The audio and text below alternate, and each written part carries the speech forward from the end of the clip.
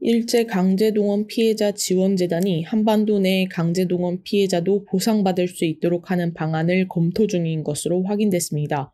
재단 관계자는 12일 뉴스토마토에 2018년 대법원 판결 이후 국내 피해자 측에서 왜 우리는 보상해주지 않냐고 하루에 수백 건씩 전화가 왔다며 저희도 이런 점을 감안해 특별법에서 국내법 피해자, 유족들도 보상받을 수 있도록 하는 방안을 검토하고 있다고 설명했습니다.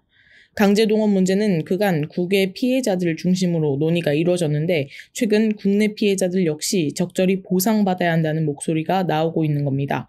이 관계자는 이런 요구를 고려해 현재 법 조문을 만들고 있는 단계라고 설명했습니다. 문제는 국내 피해자가 피해를 입증하기 어렵다는 점입니다. 국내 강제 노무 동원 피해자는 640만 명을 넘어서지만 이들 다수는 강제 동원을 증명할 자료가 남아있지 않아 입증에 어려움이 있는 상황입니다.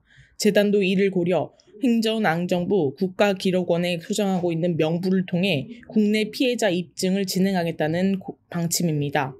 국내 피해자들이 모여 소송을 제기할 움직임도 나타나고 있습니다.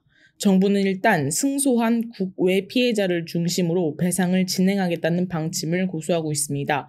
하지만 정부가 일본 전범 미업의 배상 책임을 뺀 국내 기업의 기부금을 중심으로 한 제3자 대위 번제안을 추진하면서 피해자들 사이에서는 해당 법안이 한계를 가질 수밖에 없다는 지적이 나옵니다. 피해를 준 일본과 기업들이 변제를 하지 않고 피해국인 한국이 이를 책임지면 국내외 피해자들을 어떻게 다 보상한다는 말인지 모르겠다는 비판입니다. 뉴스토마토 장유서입니다.